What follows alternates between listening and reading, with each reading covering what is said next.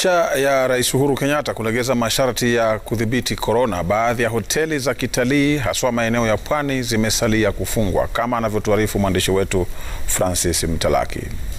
Hotuba ya Rais Kenyatta siku mbili zilizopita iliwapata wadau katika sekta ya utalii bila ya ufahamu, lakini ni afueni ambayo wamekuwa wakisubiri kwa muda.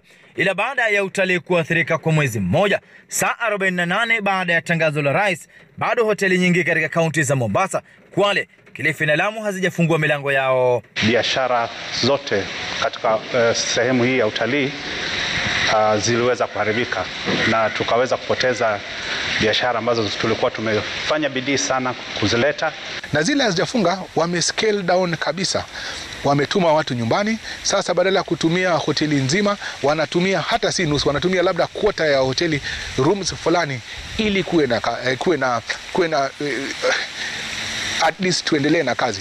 Watu wametumwa nyumbani leave na unpaid leave, na hoteli kweli zimekuwa ghost kabisa. Hili ndilo sasa linazua wasiwasi katika sekta hii, shughuli za leo, na pia wasiwasi kuwa iwapo maambukizi yataongezeka tena, wataathirika kwa mara nyingine, ikizingatia kuwa kabla ya hoteli kufungwa biashara ilikuwa imeanza kunoga. So mimi sioni haja ya kufunga tena.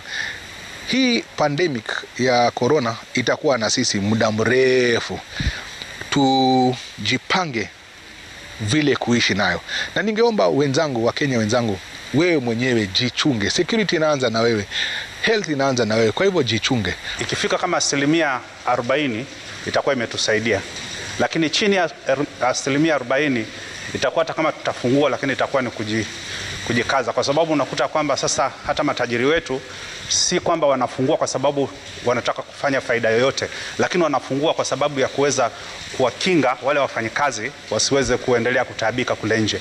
Wamiliki waliokuwa wamewekeza mamilioni ya fedha ili kukabiliana na janga la COVID-19 wanadai kukadiria hasara. Licha ya juhudi hizi, pendekezo lao kwa rais na wizara ya afya ni kuwa wahusishwe katika maamuzi yajayo ili kuleta usawa katika sekta ambayo ndio uti wa mgongo wa pwani. Waliambiwa na mahoteli badala, kwa sasa hatuna pesa ya kuwarudishia, sasa wacha tuwapatie credit ili waweza kutumia wakati wowote katika mwaka.